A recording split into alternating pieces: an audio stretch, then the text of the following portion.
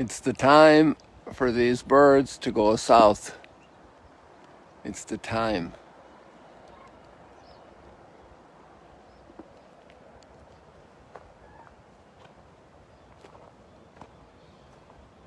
It's the time. It's the time. The time. It's the time for sunrise. I hope everybody can hear me now. We're starting over late because you all didn't have sound. Maybe it was a, a slip of my thumb when I was turning the settings around from selfie mode to camera out towards the sunrise. I might have accidentally touched the the um, button for the sound. That's the most reasonable explanation I can find for the mishap on the sound delivery this morning for you.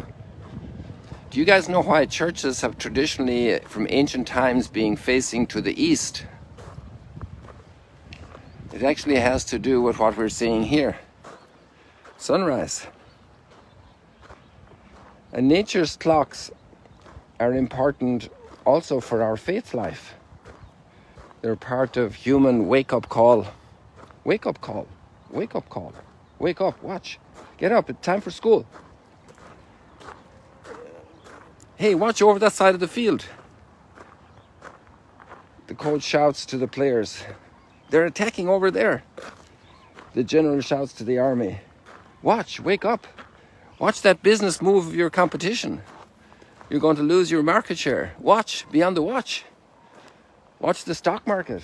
Watch, watch, watch, watch, watch, watch, watch. I think it's three times in today's gospel Jesus says, Watch. Wake up. Wake up. it's sunrise time. The sun is rising. Coming from the east.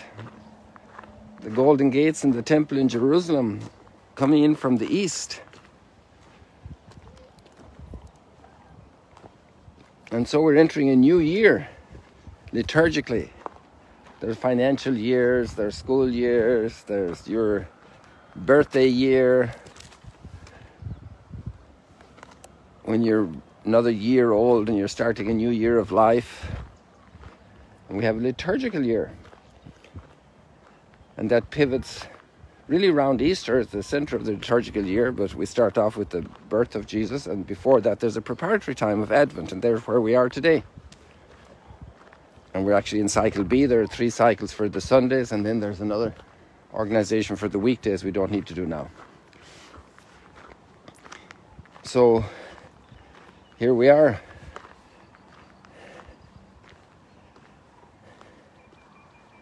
At the beginning of Advent and I would say the from our childhood, Advent is I can't wait for Christmas and Christmas presents and nice Christmas foods. So our focus on Advent is a little bit out of sync with today's first reading, which is focusing on a different coming. Because actually, we Christians are not focused on the past. We remember the past.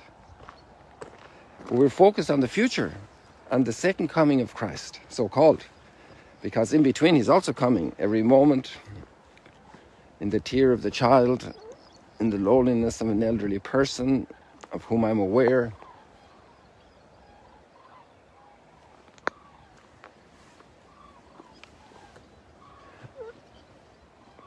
In the mood change of a spouse, in the bereavement of a coworker at work, somebody is mourning, I need to be close to them, supportive. So we have the historical coming in Bethlehem 2000 years ago on the birth. And then we have the second coming. And then we have the coming every moment. Watch, watch, watch, watch, there he is.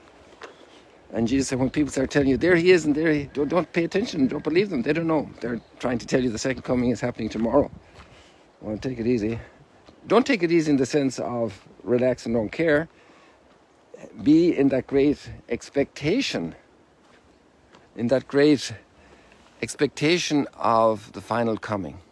Because that's telling us that our situation here, as beautiful as it is at the Sea of Galilee, Such a serene morning this morning on the water. As beautiful as it is here in Magdala, all of this is passing. All of this is passing. All of this is passing. Your beautiful garden, well, you have to dig it up again in the spring and resow it.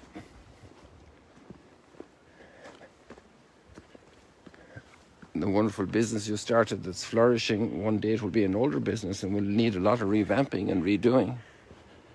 Our kingdoms are passing. The beautiful moments parents cherish of little children and moments of birthdays and different things, they're passing, they're gone, they're gone so quickly. Where did the childhood go? high school is finished, the last child is out of the house. Grandchildren are already there, now grandchildren are already graduating. Where did my life go? The speed of change. And yet we have this very concrete, solid anchor. My whole life is is awaiting the coming, the final coming, the glorious coming.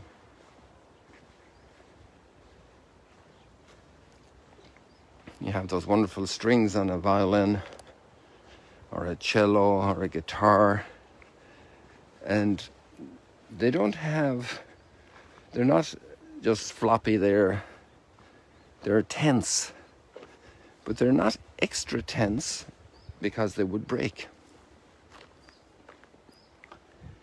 They're tense to the right measure. And that's what our soul should be tense to the right measure to give that music each time the chords are plucked, are touched, are caressed by the bow of the violin or the cello. Those wonderful notes reply to that touch.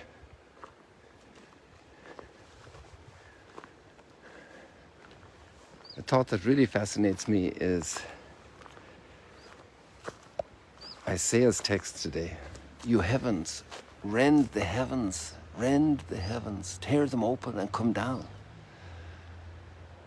Imagine, you know, God was so transcendent, the wonderful culture of monotheism that became free of the the uh, isn't that wonderful? Two boys, two brothers, sitting up their little paddleboard and dad's getting ready to go and swim.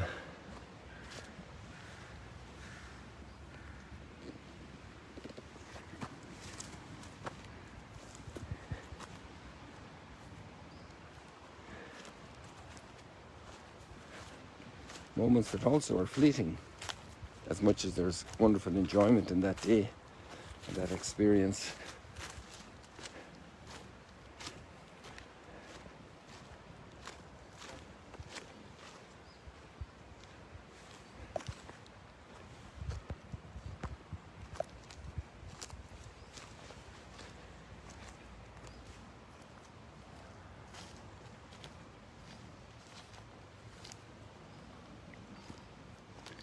Watch therefore, you do not know when the Lord of the house is coming. This is an apocalyptic text. The last discourse of Jesus before the Passion in all the synoptics is the apocalyptic discourse. Here we're in Mark. And it's funny, you wouldn't associate apocalyptic times with the birth of a little baby in Bethlehem. And so that's why we have these two comings are articulated in this way. So maybe that's enough for today. Sorry about the problem with the sound at the beginning. Thank you all for alerting me. I'm grateful for those who made that big effort to make sure I, I discovered that I wasn't being heard. Maybe those who are listening, I'm sure God is aware that we're not listening to Him that we're not hearing him. He's trying to get our attention. And that's why we have all the, the dynamics of life. Wake up calls for God to give us his attention.